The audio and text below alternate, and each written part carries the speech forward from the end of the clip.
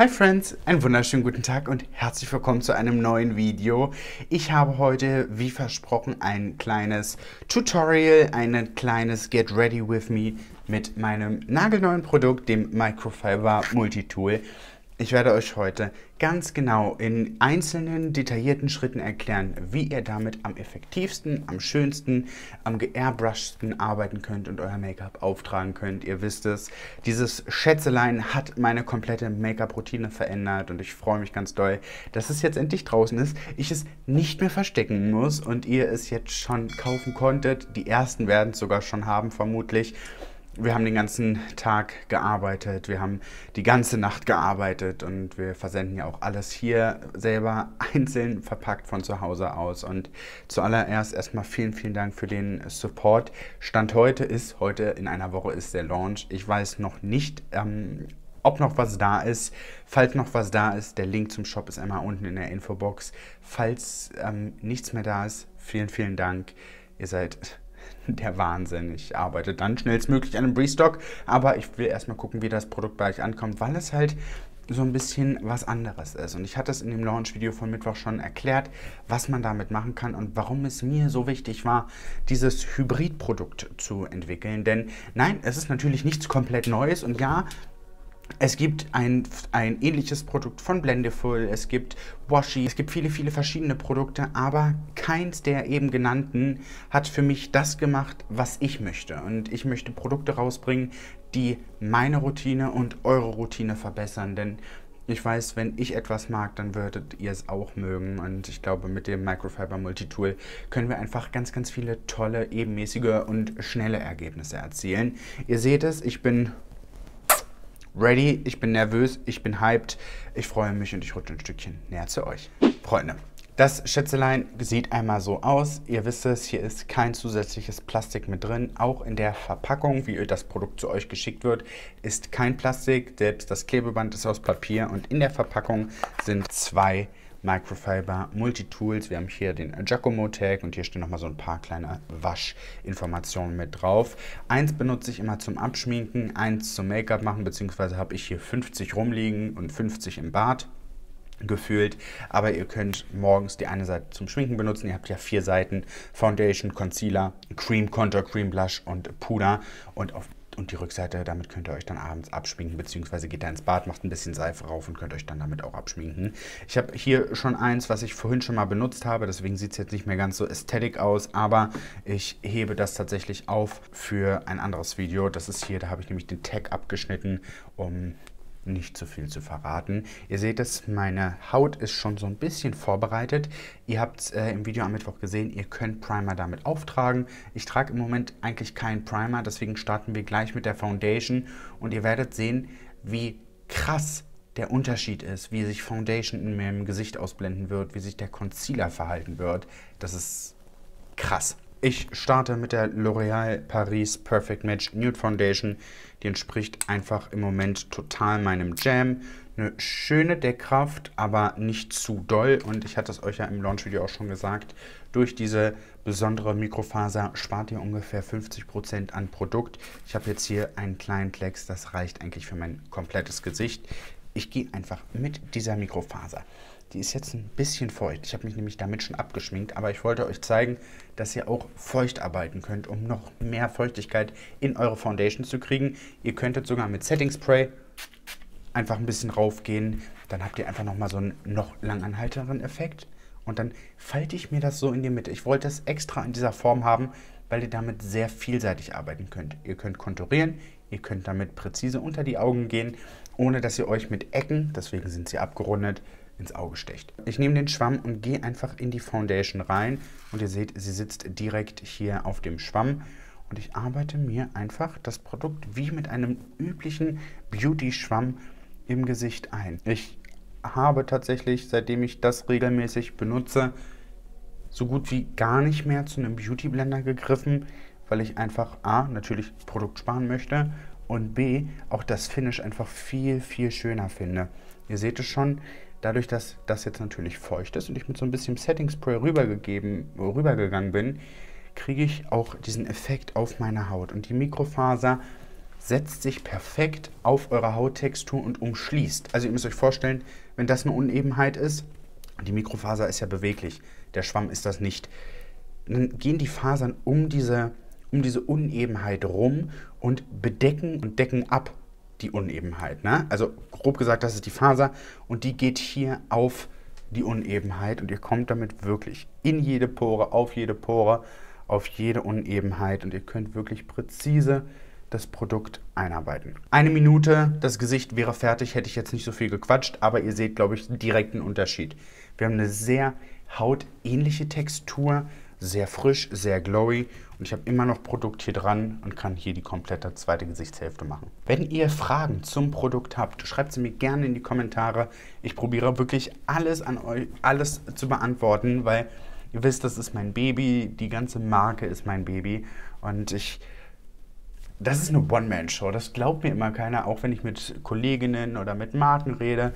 Ich bin ja oft bei anderen Marken und dann reden wir über meine Firma teilweise auch. Und viele können nicht glauben, dass das eine One-Man-Show ist. Ich sitze hier wirklich jeden Morgen, verpacke die Pakete. Teilweise kriege ich auch Feedback, wenn ihr was bestellt um 16 Uhr und um 16.17 Uhr habt ihr schon die Versandbestätigung. Dann ist das kein Systemfehler, sondern ich sitze hier, habe die Bestellung und denke, komm, ich weiß, dass ihr euch darüber freut, wenn ihr die Bestellung sofort als Versand markiert bekommt. Ich bringe sie dann abends, spätestens am nächsten Morgen um 6 Uhr zur Post. Und ähm, ich weiß es nicht, mir ist es halt wichtig, dass ich auch diese Beziehung zu euch, als in dem Fall dann meinen Kunden, aber auch zu euch als meinen Freunden und, und meiner Community, einfach so, ja, so besonders wie möglich halten kann. Foundation ist eingearbeitet. Look at that. Der Glow ist da. Sieht aus wie Haut. Wir haben keine Unebenheiten. Und ihr habt halt nicht diesen, diese Pinselstrokes, wenn ihr mit einem Foundation-Pinsel arbeitet. Aber vom Effekt her wie ein Foundation-Pinsel. Weniger Produktverbrauch und eine schöne, ebenmäßigere Foundation.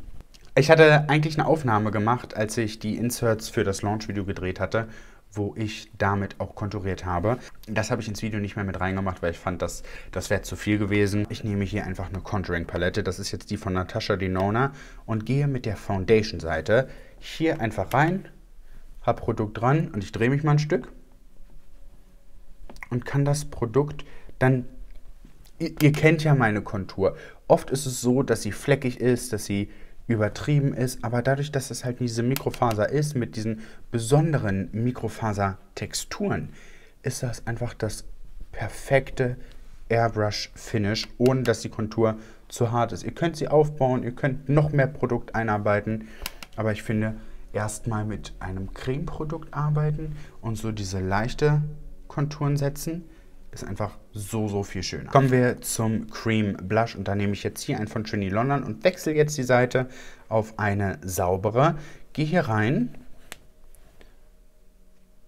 habe das Produkt hier und kann dann auch hier punktuell, da wo ich es hinsetzen möchte, den Blush auftragen, ohne dass es zu viel ist. Weil mit einem Pinsel hat man immer nicht so die Kontrolle. Ich finde, wenn man wirklich, das ist ja, als würdet ihr das Make-up mit euren Händen auftragen ohne dass es mit euren Händen auftragt, habt ihr einfach die perfekte Kontrolle. Wo geht das Produkt hin? Wie viel Produkt möchte ich an dieser Stelle haben? Und reicht es nicht vielleicht auch schon, diesen Natural Make-up Touch zu haben? Und das super schnell. Also ihr müsst nicht viel verblenden. Einfach ein bisschen rüber, hier vielleicht ein bisschen über die Nase, unter die Augen, zack, fertig. Ich probiere das Ganze jetzt wirklich so ein bisschen schnell zu machen, damit ihr seht, wie viel Arbeit ihr euch erspart mit diesem Produkt und wie schnell ihr damit arbeiten könnt. Die größte Freude ist für mich natürlich der Auftrag von Concealer und das war auch so ein bisschen die, die Idee dahinter. Eigentlich wollte ich erst wirklich ein, ein Tool rausbringen, womit ihr euch abschminken könnt, aber lustige Geschichte, ich hatte dieses Ding hier, das ist mein Muster gewesen in einer anderen Farbe, ähm, hatte das hier liegen und mein Schwamm, mein Beauty-Schwamm war unten und dann dachte ich mir, komm, probierst es einfach mal aus und das Ergebnis, das war so, so krass. Ich gehe einfach mit ein bisschen Concealer unter meine Augen. Jetzt, Freunde, passiert die Magie. Das ist, das ist verrückt. Ich habe noch nie einen so krassen, deckenden Concealer gehabt wie mit dieser Technik, weil natürlich ihr kein Produkt verschwendet. Ich habe immer das Problem mit meinen Augenringen, ich will so viel der Kraft, wie es geht. Und ihr sagt immer, hey, du benutzt so viel Concealer. I know, aber ich habe natürlich auch sehr intensive Augenringe, für mich zumindest. Oder so, fühl ich, so fühlt es sich für mich an. Und dadurch habe ich einfach die meiste Deckkraft. Und ich gehe einfach mit der sauberen Kante, ihr könnt jede Seite nehmen, wie ihr wollt, hier rüber und ihr seht, wie perfekt ausgeblendet diese Kante jetzt schon ist. Also ihr habt keine harten Konturen, die Mikrofaser passt sich eurer Haut an, sie passt sich eurer Hauttextur an und ihr habt ein Full, Full Coverage Ergebnis. Was ich gerne mache, ist, ich gehe natürlich auch hier unten immer so ein bisschen lang, will aber nicht zu viel Produkt hier dran haben. Und ich glaube, ihr seht direkt den Unterschied, oder? Concealer mit dem Microfiber Multitool und kein Concealer. Die Deckkraft. Und wenn wir das gleich noch baken, Freunde. Das ist das, was ich gebraucht habe. Dieses, klar ist das eine Menge Concealer, ne? Aber ich habe halt jetzt die Möglichkeit, die Deckkraft zu behalten und nicht das Produkt zu verschenken in den Schwamm, was am Ende des Tages bei mir im Bad landet, sondern das Produkt bleibt dort, wo ich es setze. Ihr verblendet es nur. Schaut mal, hier ist ja so gut wie kein Produkt dran. Ne? So ein bisschen klar Reste hier in der Naht, aber ihr könnt damit... Es, es speichert kein Produkt. Okay, Concealer ist ausgeblendet. Jetzt kommen wir zu einer meiner liebsten wie heißt das? Disziplinen. Disziplinen und zwar ist es das Bacon. Ich nehme mir mein Baking Powder, das ist das Huda Beauty Pound Cake, das hier rein. Hier noch eine trockene Seite und ich gehe nur ganz leicht rein. Ihr seht, ne, da ist ein bisschen was dran. Ich gehe erst in meine Hand und sette damit ganz leicht, damit ihr sehen könnt, wie es aussieht, wenn man nicht viel Produkt benutzt. Und ihr habt direkt innerhalb von Sekunden das weich gezeichneteste Make-up überhaupt. Hier ist es glowy und ihr seht die Poren. Hier nothing. Excuse me. Creases sind dadurch reduziert, weil diese einzelnen Fasern sich in eure kleinen Fältchen unterm Auge legen und dort das Puder platzieren. Das schafft ein Schwamm, schafft das nicht, alleine physikalisch schon nicht. Der kommt nicht in diese kleinen Rillen, aber diese kleinen feinen Härchen können perfekt euer Make-up unterhalb der Augen setten und dann auch fixieren. Hm, gehe ich hier nochmal so ein bisschen über mein Augenlid und dann könnt ihr, wenn ihr richtig Lust habt auf ordentliches Bacon, nehmt ihr euch das Produkt und platziert es einfach unter euren Augen. Und mit dem Rest, den ich hier dran habe, denn hier ist natürlich noch Puder dran, könnt ihr einfach über euer restliches Gesicht gehen und alles setten, ohne groß noch neues Produkt aufzutragen. Das speichert natürlich auch ein bisschen Puder. Pudertexturen bleiben hieran besser haften als Cremetexturen, deswegen geben sich hier auch zum Setten ein schöneres Finish. Aber, excuse me, Boys and Girls,